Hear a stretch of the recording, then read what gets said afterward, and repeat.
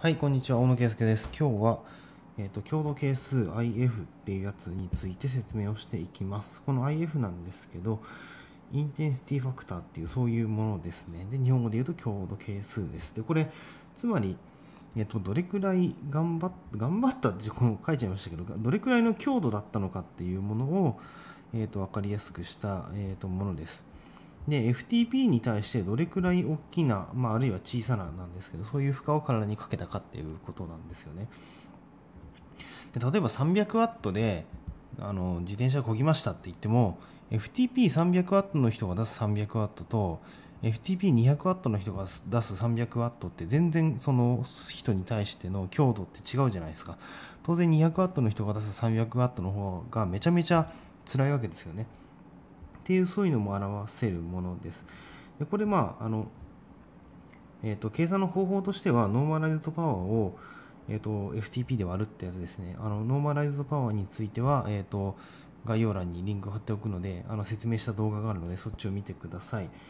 はい。で、そのノーマライズドパワーを FTP で割ることでどれくらいの、えー、と強度だったのかっていうことになります。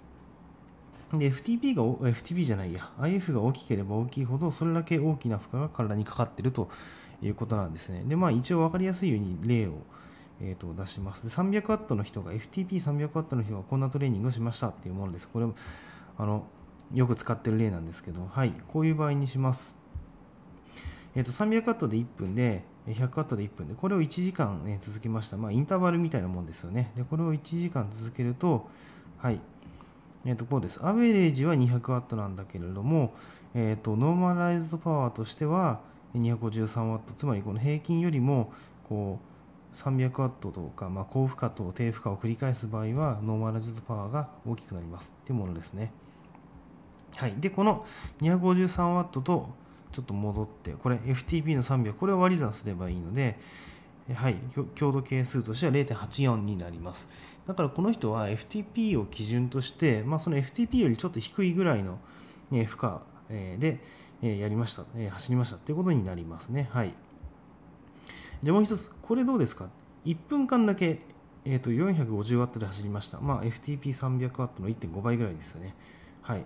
で、1分間 450W でずっと走ったので、当然アベレージも、まあ、この1分間は 450W だし、えーと、このノーマライズパワーっていうのは負荷の変動がない時はそのままアベレージパワーに、えーと、一致します。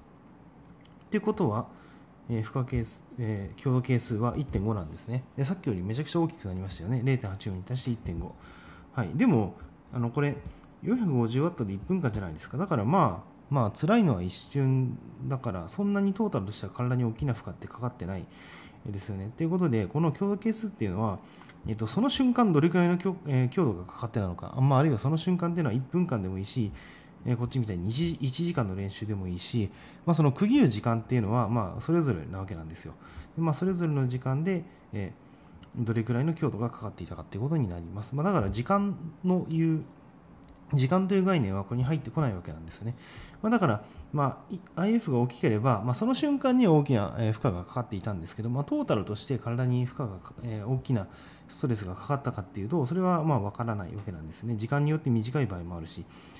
例えばその一瞬だけ FTP の2倍ぐらいガーって出せば、えー、あの強度係数2とかになりますけど、まあ、それは一瞬なわけで。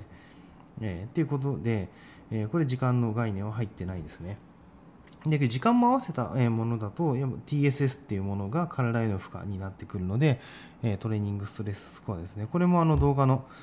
説明欄に貼っておくので、まあ、見てみてくださいはいえー、ということでした。まあ、これが強度係数です。でちなみにこの強度係数って、えーと、どれくらいの値なのっていうんですけど、まあ、一応参考に。はい。これ、あのパワートレーニングバイブっていうところから持ってきました。はい。で、これあのパワートレーニングをする方にはぜひおすすめの本なので読んでみてくださいね。で、えー、まあ、例えば回復層だとこれくらいですね。0.3ナノとか非常に低いですね。はい。で、えっ、ー、と、クリテリウムとかだと、えーとまあ、1時間しないクリテリウムとかだと、まあ、当然あの FTP 以上のパワーで走ったりすることもあるので、まあ、1を超えてきたりしますね1.6ぐらいです1を超えるとやっぱりかなり強いなっていう印象ですねはいで、えこれは、えーまあ、ツールドジョージアっていうもので、えーまあ、多分その時のデータを持ってきたものだと思うんですけど、まあ、6時間ぐらい走った時で0.72ぐらい、えーですね。0.72だと、まあ、それでも決して楽な負荷ではないと思います。あの実際、でしかもそれを6時間とか、えーなのでやっぱりプロってすごいんだなって思いますね。あのかなり辛いと思います、これ実際。あのプロが辛いと思うかどうか分かんないですけど、